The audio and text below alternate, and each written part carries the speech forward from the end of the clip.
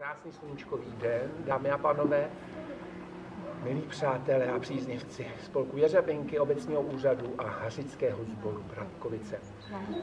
Jak jistě víte, byl přeložen na poprvé masopust Bratkovice na 27.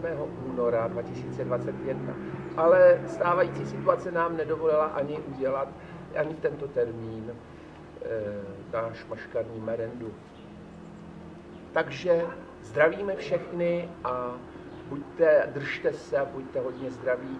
Masopust proběhne dnes online.